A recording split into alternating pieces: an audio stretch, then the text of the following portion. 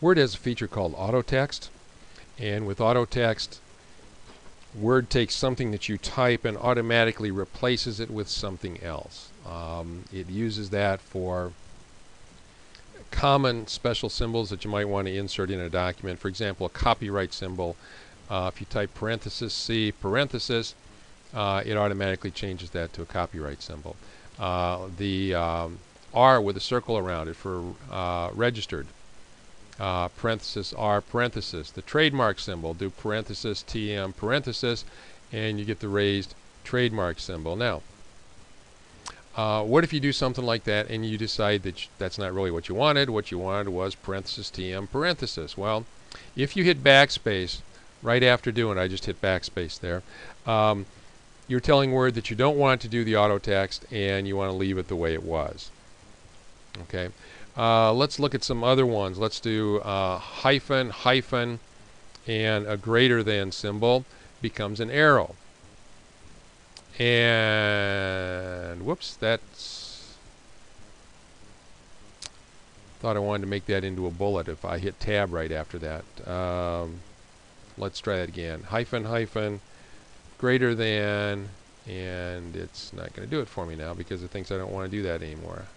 Uh, if I do a less than followed by a couple of equal signs, I get a fat arrow pointing left. If I do a couple of equal signs followed by a greater than, I get a fat arrow pointing right. If I do a less than followed by two hyphens, I get an arrow pointing to the left. And if I do a couple of hyphens followed by a greater than sign, I get a skinny arrow pointing to the right. So I've got four ways to do arrows. I've got these common uh, symbols up here and uh, a couple of other ones that it does. If you do a colon, hold the shift key down, and a right parenthesis, uh, it'll do a smiley face for you. If you do a left parenthesis and a colon, I'm sorry, a colon and a left parenthesis, uh, it does a frowny face. and it also has some shortcuts uh, for doing lines all the way across the page. Uh, these get converted into what Word calls borders which are actually attached to a paragraph. But if you just want a line all by itself, we'll talk about borders some other time. Uh, but if you just want a line all by itself, uh, type three hyphens and hit the enter key, and you'll get a line that goes all the way across. If I want a um, double line, do three e equal signs and hit the enter key. If I want um, a thick line, it's the underscore three times and hit enter.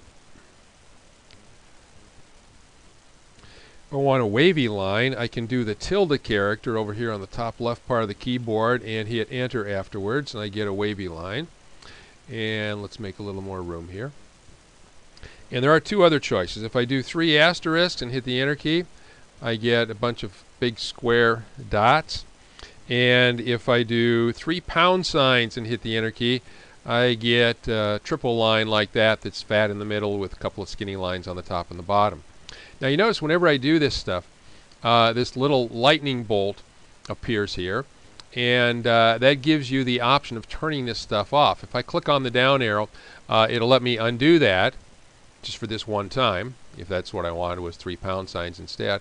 Or it'll also let me just turn this off and stop doing automatic borders for me. Now, um, since all you have to do if you if you don't want that feature is just go here and you know tell it to undo or redo. Uh, I don't think there's a big need uh, to tell it to stop automatically doing that. Yeah it looks like I must have checked that uh, by mistake. So now that's that's turned off.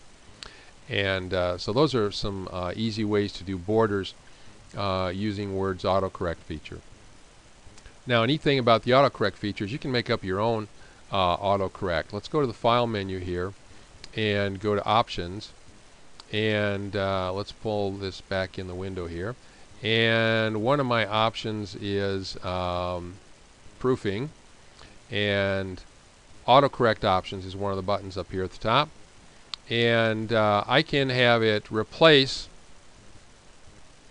whatever I want to here. Um, so let's say that you find yourself uh, typing the phrase Briar Cliff University over and over and over again. Uh, you can just type BCU and then over here tell it you want to replace it with Briar Cliff University and click on add don't forget to do that and then click on OK and we can um,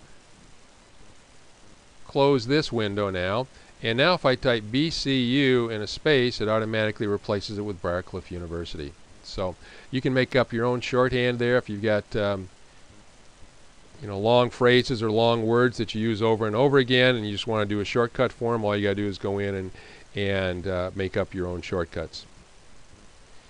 So that's how you can um, use the shortcut feature in Word